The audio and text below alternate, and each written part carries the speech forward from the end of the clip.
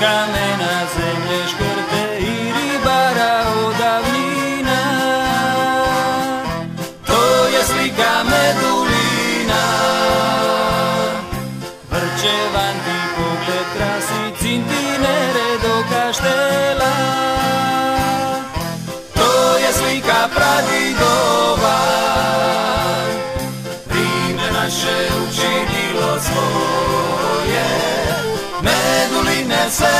moje i po svitu o tebi govore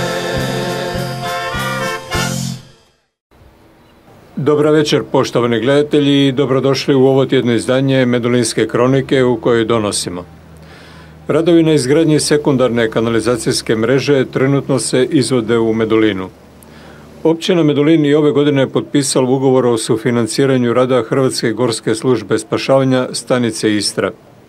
Općina potpisala ugovor i o suradnji i sufinanciranju izdavanja monografije 119. brigade Hrvatske vojske koja se priprema ususret 30. obljetnici ustrojavanja postrebe.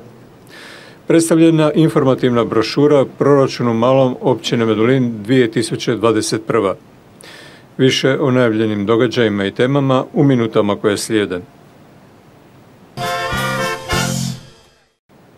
Na području općine Medulin radovi na izgradnji sekundarne kanalizacijske mreže nastavljaju se planiranom dinamikom. Konkretno, ovih se dana radi u dvama naseljima u Medulinu. Jedno je dio naselja Burle, gdje se radovi izvode na kolektoru za fekalnu kanalizaciju u dužini 260 metara. Na taj način ćemo omogućiti opet jedan novi broj korisnika koji će biti spojeni na sustav javne odvodnje. Paralelno sa time napravit će se jedan mali dio rekonstrukcije i vodovodne mreže koju vodovod Pula financira iz sredstava općine Medulin. U svakom slučaju evo malo, malo nove izgradnje još uvijek potreba postoji jer ovo je stari dio naselja Medulin gdje su objekti izgrađeni pred i 40-50 godina koji su bili na sustavu septičkih jama, evo sada omogućavat će se s time da se spoje na sustav javne odvodnje. Vrijednost investicije je 399 tisuća kuna bez PDV-a. Izvođač radova je medulinska tvrtka Regi Electric, a rok njihova dovršetka je kraj svibnja. Projekt djelomično sufinanciraju Hrvatske vode s 80%, te općina Medulin s preostalih 20% sredstava. Ovih dana otvoreno je još jedno gradilište i to u medulinskom naselju Katikulić.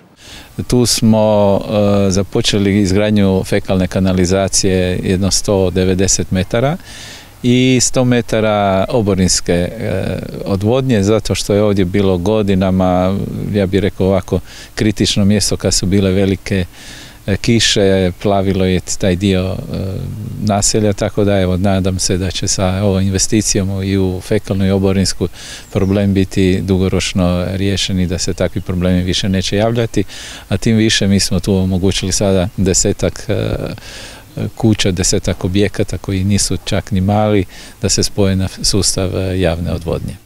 Vrijednost radova je 390 tisuća kuna bez PDV-a, a izvodi ih tvrtka Terakop iz Vinkurana. Do kraja svibnja radovi bi trebali biti okončani. Prema najavama direktora Albaneža u skorašnje otvaranje još tri gradilišta vezano za izgradnju sekundarne kanalizacijske mreže, jednog u Vinkuranu i dva u Medulinu.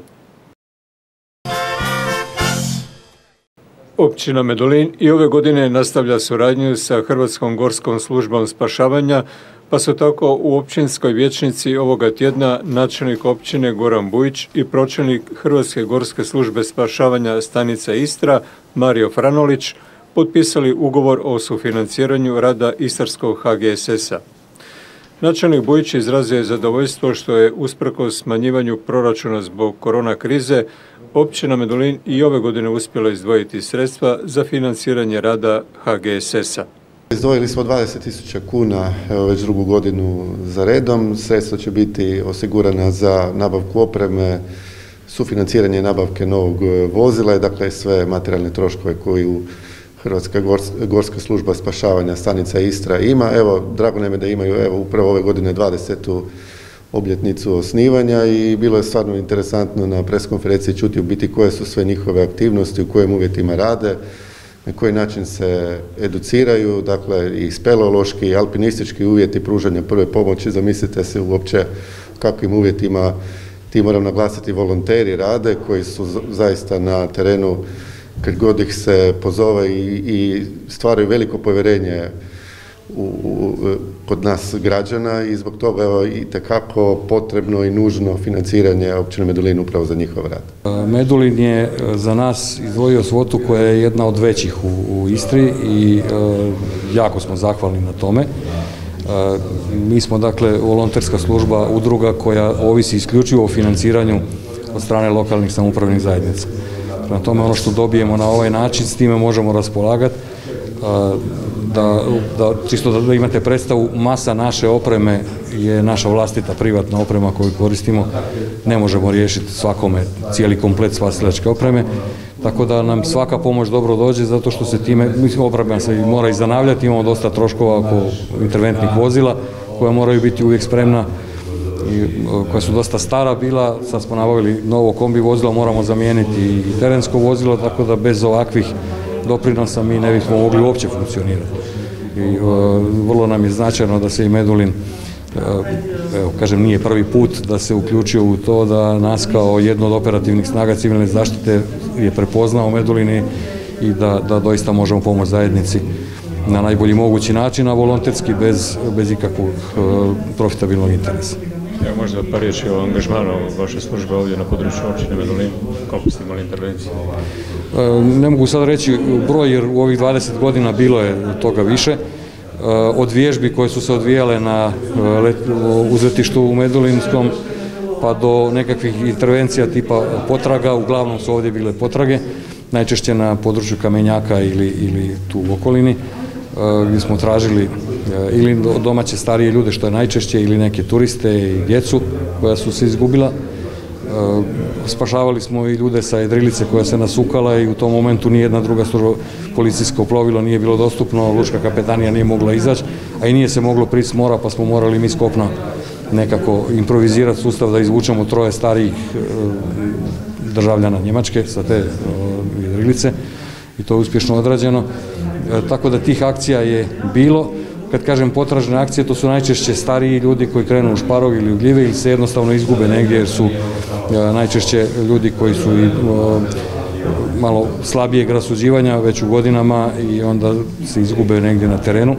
Stanica Istra HGSS-a jedne od tri uz Crveni križ i vatrogastvo operativnih službi civilne zaštite koja djeluje na području Istarske županije, odnosno 41 jedinice lokalne samouprave. Članstvo stanice čini 31 volonter, gorski spašavatelji, spašavatelji i pripravnici. Svi aktivni članovi obučeni su za pruženje prve pomoći u neurbanim i na teško pristupačnim terenima, a njih troje ima važeću međunarodnu ITLS licencu. A kako se postaje član HGSS-a, pročelnik Franolić pojašnjava.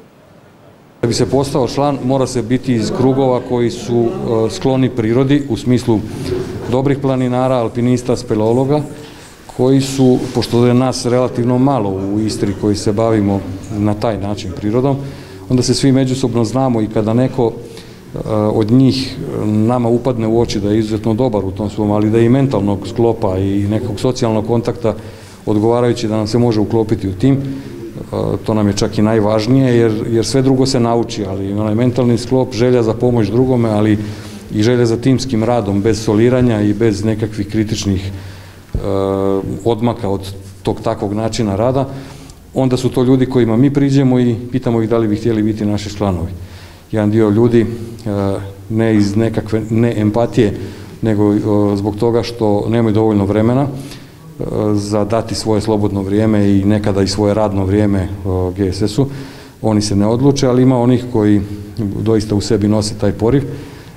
Kažem, mi kao volonteri moramo napustiti svoja radna mjesta da bi došli na spašavanje, to nekad bude zahtjevno, neki poslodavci nemaju baš puno razumijevanja, pa i to je za razumjeti, imaju svoj radni proces u kojem se mora nešto odraditi i onda je to nekad e, problem, zato nas mora biti više da nas uvijek bude dovoljno da može izaći na teren da barem krene akcija kako treba, spasilačka ili potražna, a da onda ovaj, drugi se priključe kasnije poslije posla. Ono što je dobro, HGSS osim što je organiziran po stanicama, djeluje i kao jedinstvena služba. Drugim riječima, ako mi nemamo dovoljno ljudi, ako je velika akcija u pitanju, mi pošaljemo poziv u pomoć drugim stanicama i tada služba i druge stanice dolaze u pomoć sa svojim resursima, sa ljudima, sa zapovjednim vozilima, sa dronovima, psima i tako dalje.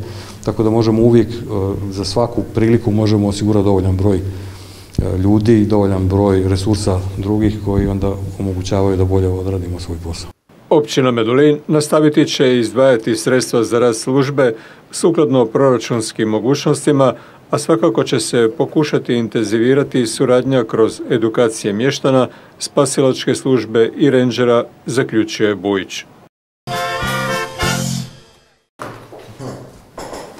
U općinskoj vječnici u Medulinu potpisan je ugovor o sufinanciranju izdavanja monografije 119. brigada HV-a u domovinskom ratu 1991-1995 kojeg su potpisali načelnik općine Medulin Goran Bujić i predsjednik kluba 119. brigade Roberto Fabris.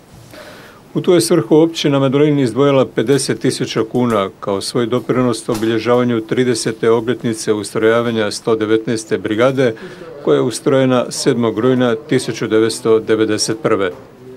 Kao zadnji zapovjednik i cijelo vrijeme koje sam prošao kroz 119. brigadu, moram reći da sa općinom Medulin smo jako e, bili vezani, a veže nas je to što 1991. godine prvo postrojavanje smo imali općini Medulin, to je u autokampu Kažela. Drugi dio iz općine Medulin 119. brigade prošlo preko, bilo je preko 60 mještana, tu je, tu uvijek spominjemo, ovaj monografica spominje vaše mjesto po mer, dio od 30 ljudi, 29 je bilo angažirano. 30 muškaraca, mislim, vojno, vojno obveznike, tako. Tako da, e, sa općinom Medulin bez i malo skromnosti, bez da se sad e, nešto odvaramo, uvijek smo imali dobru suradnju, uvijek smo ulazili na, ovaj, otvorena vrata. Ja se dobro sjećam, bio sam još student, nisam bio ni oslužio vojni rok i nisam imao tu čast prisustovati Oluji i svim drugim aktivnostima, naravno 119. brigade, ali sjećam se apsolutno to ponosa, te sreće pri povratku svih naših mještana, sumještana i tog nečeg bitnog što smo mi svi zajedno uspjeli, odnosno vi svi zajedno uz našu potporu, što ste uspjeli u biti učiniti za dobrobit e, Republike Hrvatske. Dakle, e, stoga je važnost e, monografije još ima veće značenje, obzirom da će naraštaj naša djeca i unuci jednostavno imati jedan povijesni relikt iz kojeg će svakako moći vidjeti činjenice koje su se događale u razdoblju od 1991. do 1995. kada je evo, brigada bila e, aktivna, najaktivnija. Ukupna vrijednost projekta iznosi gotovo 400 tisuća kuna, te ga uz općinu Medulin sufinanciraju Istarska županija, pet istarskih gradova i 14 općina s područja mobilizacijskog razvoja 119. Monografija će biti jedina do sad objavljena ratna monografija u Hrvatskoj, koja će biti tiskana u 1400 primjeraka na hrvatskom i 200 primjeraka na talijanskom jeziku. Autor monografije je Darko Dukovski, redoviti profesor na Filozofskom fakultetu u Rijeci. Autori predgovora su generali Marijan Mareković i Jozo Miličević, zapovjednici Tigrova, a recenzenti Davor Marijan i Jakša Raguž iz Hrvatskog instituta za povijest. Njen urednik Davor Gregorović istaknuo je da je monografija napisana na ponos svih sudionika domovinskog rata koji su napustili svoje sigurne, ničim ugrožene domove te odlazili na ratišta udaljena od 200 do 300 km. Ovim istraživanjem znači, zabilježit će se i opisati ti povijesni trenuci u životu ne samo naših pripadnika, nego i, i, i radova, jer je, jer je od tih 14 poglavlja između ostaloga vrlo zanimljivo neće biti suhoparno počinje prije svega u uvodnom razmatranju o svim ratovima istarskim. Znači, autor i mi dali smo si truda da, da se napravi poveznica između stoljeća koje su bile iza nas. Svih tih ljudi koji su iz ovog poluotoka na ovoj razmeđi kultura i svega e, odlazili u ratove tijekom, tih e, velikih turbulentnih stoljeća europske povijesti pa sve do danas. Tako da bi ta naša knjiga bila forma kulture sjećanja, jedan svojevrsni istarski memento koji ovaj, kroz tu ispričanu priču koja ostaje ima zadaću čuvati uspomenu na identitet postrojbe, na ratni put, na poginule, ranjene, oboljele, a između ostaloga u jednom poglavlju pri kraju govori između ostaloga i o mirnodopskoj udruzi, znači to je ta poveznica onoga što razvojačeni i umirovljeni veterani čine danas kroz mirnodopsku udrugu koja se zove Klub 119. brigade. Prilikom svečanog predstavljanja monografije na području općine ista će biti uručena 60 branitelja s područja općine Medulin. Monografija će se osim pripadnicima brigade podijeliti školama, knjižnicama i muzejima i neće biti u prodaji, a posvećena je tisućama samozatajnih pojedinaca i članovima njihovih obitelji koji su sudjelovali u ratnim operacijama, svim poginulima, svim oboljelima, kao i povijesni trag o ratnim zbivanjima te dar zajedništva, ponosa i slave. Osim za monografiju 119. brigade Hrvatske vojske, općina Medulin izdvojila je ove godine i sredstva u visini od 40.000 kuna za izradu i postavljanje monumentalne kamene skulpture s uklesanim grbom brigade, koju upravo izrađuju kipari Tihomir Hodak i Ivan Briski. Skulptura teška preko 4 tone, visoka 2,20 metara, za koju je kamen donirala tvrtka Kamen Pazin, biti će svečano otkrivena u završnici ovogodišnje vojne vježbe Štit na vojnom poligonu na rtu Kamenjaku 16. travnja. Koristim priliku reći da je u nju uklopljena i nacionalna i vojna i regionalna simbolika i predstavlja, predstavlja jedan od najuspješnijih heraldičkih interpretacija e, tog e, suvremenih vojnih simbola, o čemu su se očitovali i veksikolozi koji se bave tom pod vrstom povijesne znanosti i, mislim da će to biti skulptura u prostoru koja će e, ostati iza nas. Poput, poput ove, ove knjige, želja nam je bila da jednostavno kultura sjećanja nadraste i nadživi strategiju mogućeg zaborava. Mislim da, će to, da je to zahvala svim e, pripadnicima 119. brigade koji su iz općine Medulin i svima koji su iz Istarske županije, a ujedno njihovim obiteljima. I sam poligon na prijedlog općine Medulin odlukom vlade od 13. rujna 2018. godine preimenovan je i nosi ime Vojni poligon 119. brigade Hrvatske vojske. U općinskoj vijećnici u Medulinu na konferenciji za medije predsjednik općinskog vijeća Dražen Mišković i pročelnica Upravnog odjela za proračun i financije Silvija Perica predstavili su informativnu brošuru proračunu malom općine Medulin za 2021. godinu koji predstavlja sažetu verziju dokumenta općinskog proračuna za tekuću godinu i projekcije proračuna za 2022. i 2023. godinu. Drago mi je da napokon i mi imamo jednu brošuricu koja će pobliže svim našim mještanima predstaviti e, sve nekakve bitnije stvari, sve nekakve projekte koje općina Medulin realizira u tekućoj godini. E, proračun općenito je u kratkim crtama objašnjen u toj knjižici što znači proračun, kako se taj proračun e, realizira, kako kako dolaze prihodi, kako idu rashodi u biti.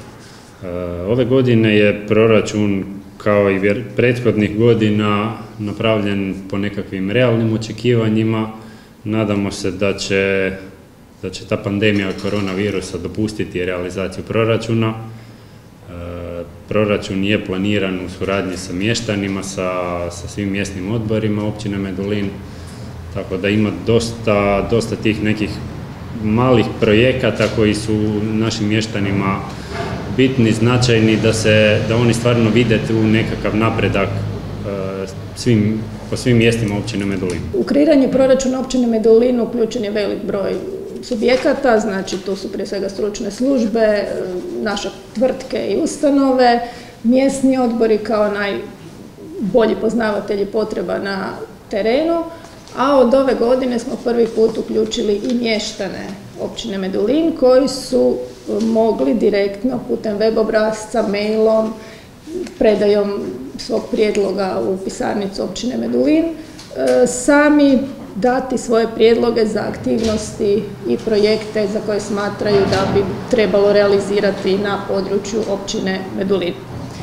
Temeljem svih tako prikupljenih dokumenata općinski načelnik predlaže, odnosno predložio je, a krajem godine općinsko vijeće usvojilo je proračun općine Medulin za 2021. godinu i projekcije za 2022. i 2023. Tako u svojem proračunu prilično je složen i opsežan dokument koji ima preko stotinu stranica. Stoga se u cilju približavanja proračunskih procesa i samog proračuna mještana pripremili proračun u malom kao sažetak cjelokupnog proračuna u kojem se na pojednostavljen način prikazuju prihodi i rashodi, planirane aktivnosti, E, znači na razumljiv i jasan način prikazuje od kuda proračun u proračun dolaze novci i na šta se sve troši. Tako možete saznati recimo da 33% prihoda proračuna dolazi iz pristojbi i naknada kao što su komunalni doprinos, komunalna naknada, boravišna pristojba, naknade za vezove u lukama i tako dalje, a preostalih 30% recimo od poreza, prije svega poreza na dohodak, tako da su te dvije kategorije u biti preko 60% proračunskih prihoda nose. Ovogodišnji proračun općine Medulin koja ima 6,5 tisuća stanovnika planiran je u iznosu od 100 milijuna kuna. Njime je, kako se moglo čuti, na održavanje komunalne infrastrukture u ovoj godini planirano 12,6 milijuna kuna, dok je za kapitalne projekte predviđeno preko 30 milijuna kuna, kao što su prometnice s fekalnom kanalizacijom i oborinskom odvodnjom, javnom rasvjetom, pješačko-biciklističkim stazama, dječja igrališta, plaže, groblja i drugo. Znatna sredstva ulažu se i u napređenje uvjeta života obitelji i mladih, uz osiguravanje kvalitetnog preškolskog odgoja i obrazovanja u suvremenim vrtićima i školi. Svi mještani će moći u tom u toj maloj brošurici vidjeti sve one nekakve e, veće stvari koje se rade po općini, mogu tu vidjeti koji su sve korisnici proračuna, koji, koga sve općina Medulin e, sufinancira, koji su unutar općine Medulina i na području grada Pule, kao na primjer i javno vatrogasna postrojba i centar na, na Verudi, naš DVD dom i, ostali korisnici koji su povezani recimo za naš, za naš proračun. Tu je svakako mislim biti i opća bolnica Pula koja nam je mislim u, u ovom trenutku nekako naj, najbitnija i stvarno svi moramo brinuti i o njoj. Primjerak brošure biti će podijeljen kućanstvima uz račune za komunalnu naknadu, a dostupan je i na internetskim stranicama općine u PDF formatu kao i na općinskoj porti.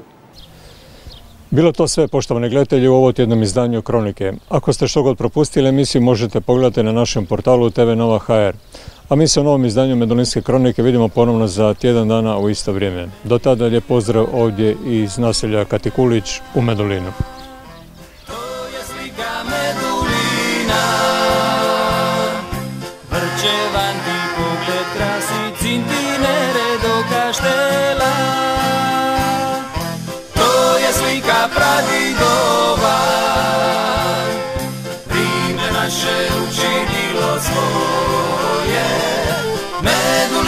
Selo moje i po svitu o tebi govore